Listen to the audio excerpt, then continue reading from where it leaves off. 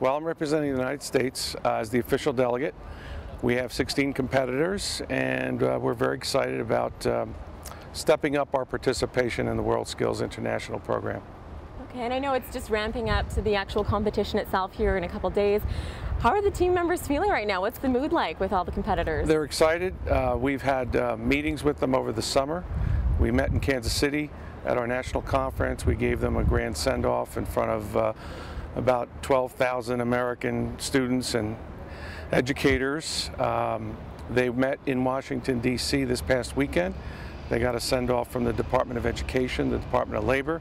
They even visited the Canadian Embassy and had a little background on what to expect and as far as Canada and the culture, the climate. So uh, they're ready to go, and uh, we're just getting uh, more and more excited. What, what are you looking forward to most?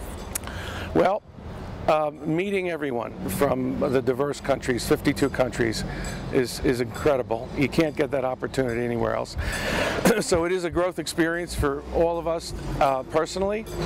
And um, I hope to get involved a little bit more in, in, some of the committees, some of the volunteers that are helping um, develop the WorldSkills Organization. But I'm, I'm learning every minute that I'm here. So uh, I'm just grateful to be here and can't wait. I know it's going to go fast, and I just hope our students have a good experience. And uh, if they win medals, that's great, but we know they've trained hard, and we want them to go home with uh, a good feeling that this was something that was worthwhile. Mm -hmm.